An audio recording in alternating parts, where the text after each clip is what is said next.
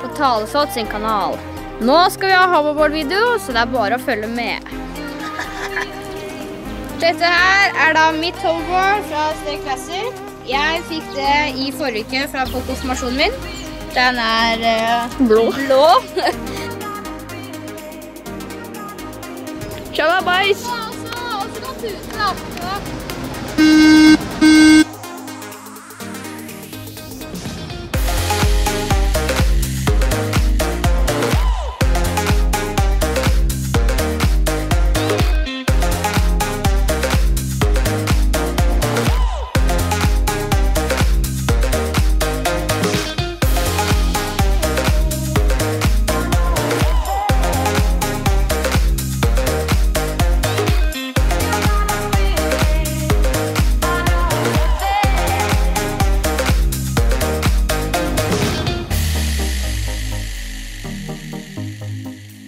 på classy. Det her er i hvert fall eh, mitt hoverboard. Det er en Skywalker som er kjøpt fra Skywalker Norge.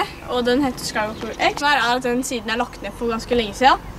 Jeg vet faktisk ikke når den er lagt, nei, lagt ned, men eh, den er lagt ned for å si det sånn. Men jeg skjønner ikke hvorfor, for det var veldig bra merke. Jeg, har hatt den i, jeg tror jeg har hatt den i over tre år, så den har holdt utrolig lenge. Men jeg skal vise dere hvordan det fungerer. Det her er utrolig kult, fordi det er et hoverboard, og så har vi sett på en del. Eh, en sånn her en, ja. Som på en måte er en sånn go-kart-greie. Hei, og jeg heter Ola, og jeg er bror til Sander. Og det her er da hoverboardet mitt fra Stay Classy. Hei, Sander. Kan jeg prøve hoverboardet, eller? Ja, selvfølgelig. Ha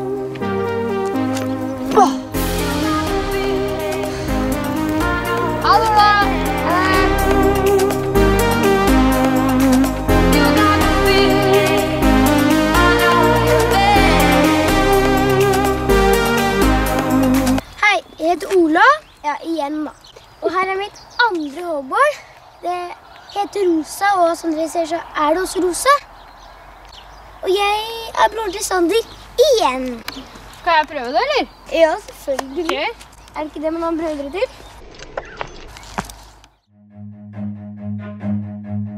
Run.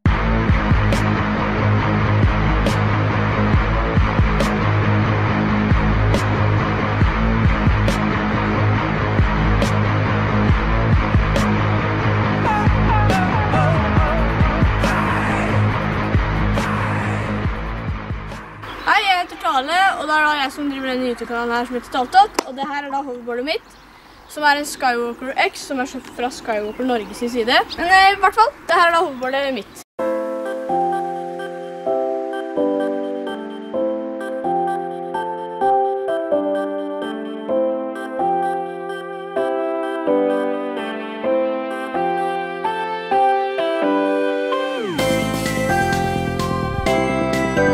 Nå skal jeg kjøre bort til den parten var borte, og så tilbake igjen. Jeg skal ikke kjøre så fort, jeg skal egentlig bare vise dere hvordan det fungerer, fordi det er utrolig lett. Det er egentlig bare å presse disse to spakene fremover for å kjøre fremover. Og så holder du dem igjen, eller drar dem tilbake igjen da, for å på en måte rigge og bremse samtidig. Så det er, det er lettere enn å stå på hoverboardet. Så hvis du aldri har prøvd hoverboard før, så skjønner jeg at det er veldig stas. Go! Og sånn dere ser, så er det da et sånt der eh, hjul bak her, sånn at man kan da kjøre på ett hjul. eh, Kjøre på bakhjulet da. Steine? Ja, steine. Da gjør man sånn.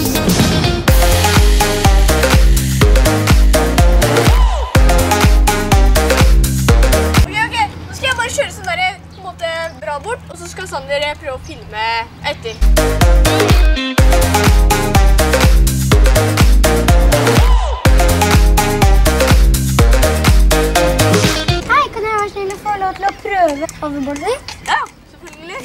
Husk at eh, hvis dere kjenner noen som har et hoverboard, så må dere huske å spørre dem. Og hvis det er dere som har Hvis du for eksempel har et hoverboard, så er det veldig snilt å la andre få prøve. Fordi det er noen som faktisk ikke har et hoverboard. Som dere kanskje så i stad, så har jo Ola egentlig et hoverboard. Men eh, ja, hva skjedde med det? da? Det ble jo borte. Og den, den rosa, den eh, brente opp. Så det er veldig trist at eh, noen mister hoverboard, og noen har kanskje aldri hatt det. Så jeg vet. Skal du få lov til å prøve mitt. Men eh, du har litt mindre bein enn meg, så jeg tror jeg må stille den her til deg.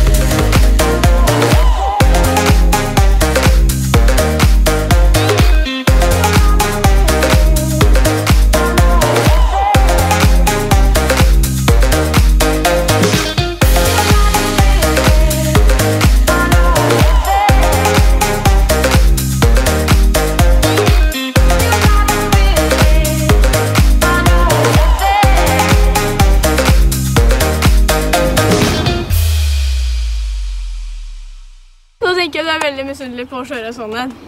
Har jeg rett? Eller ikke. Nei, men i hvert fall, Nå skal vi misunne dere enda mer, for nå skal vi vise dere noe annet gøy. Så vi skal gå bitur da. Vi har nemlig også en tale her, så nå skal eh, Ola få lov å sette seg oppi. Så da skal egentlig Ola få kose seg litt oppi den tralla her. Og så skal eh, Sander ta og kjøre på holdbordet sitt. Ola, klar for å kjøre? er du klar, eller skal du sove? Jeg Nå går toget. Det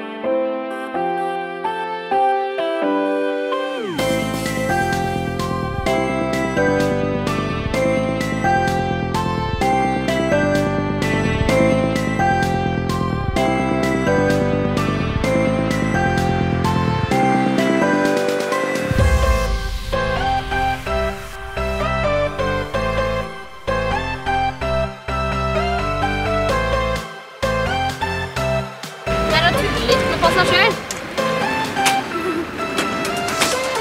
Men så er det noe som er litt negativt med den stillingen som eh, Ola sitter i nå. Fordi at eh, hvis dere ser her på vogna, så sitter han da med på en måte vekten, all vekten sin helt bakerst. Så det er ikke noe tyngdekraft eh, foran. Så nå kan Sander bare lett dra her, og så kan han trille bak på ryggen. Ja, sånn som det der. Så derfor skal vi nå vise dere en annen måte hvor dere kan kjøre på, som er helt trygg og veldig morsom. En liten review på sånn Ola.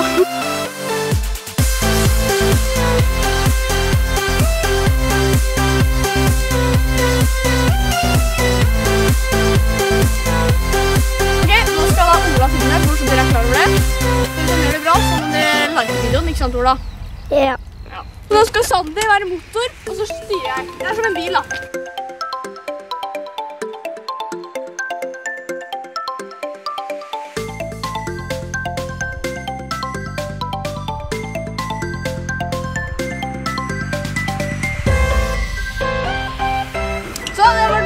Det og den er egentlig ganske trygg, og den er veldig moro. I hvert fall hvis du bare er to på campinga, og hvis bare én person har ett holdboard. Og det som også er, er at eh, til i hvert fall det hoverboardet her, eh, jeg har ikke det på mitt hoverboard, for det er tre år gammelt. Men eh, Sander fikk jo det her hoverboardet holdboardet forrige uke, og da er det nemlig sånn at du kan styre hoverboardet fra en app på mobilen. Som heter Tao Tao. Man kan nemlig skru den på herfra. Vil du trykke på den knappen? Ja. Trykk. Oh, stylig. Jeg er ikke vant til å stå på det hoverboardet her. Men hvis dere følger med på eh, appen, så vil det stå hvor mange kilometer i timen vi kjører. da. Så det er ganske kult. Nå kjører vi 10 km i timen. Det er nice.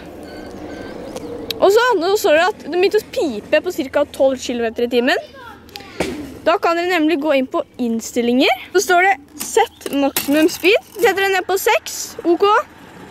Og jeg bare kjører 6 km i timen, så tror jeg det skal begynne å pipe. Vi tester. Jepp. Nå kjører vi 6 km i timen, og kan dere høre, så piper holdboardet. Men i hvert fall, så man kan altså eh, velge når den skal på en måte advare deg om når du kjører for fort, så det er utrolig nice. Og så kan du sjekke batteriet fra appen. Nå står det at du har 52% så ca. halvveis igjen. da. Det er nice, Sander. Ja. Bare sånn at dere er klar over det, så kommer vi til å lage en ny video om det her, hvor vi da kommer til å vise dere et sted hvor det kanskje kan anbefales da, å kjøpe et sånt holdboard, hvis dere lurer på hvor dere kan kjøpe et. Eh, hvor du også kan styre hoverboardet fra en app, fordi jeg har funnet ut at det er utrolig mange andre steder du får kjøpt hoverboard hvor du kan styre en app fra. Fordi at Stayclassic for eksempel, den bruker samme app som mange andre sider bruker, for det er ikke dem som har laget selve Tao Tao. Um, ja, det var vel egentlig det. Ikke sant, Ola? Ja. Ja. Håper det, da. Ja, ta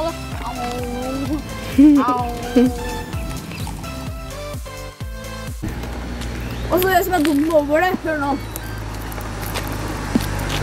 Du kan nå koble til enheten din. Enheten er nå tilkoblet.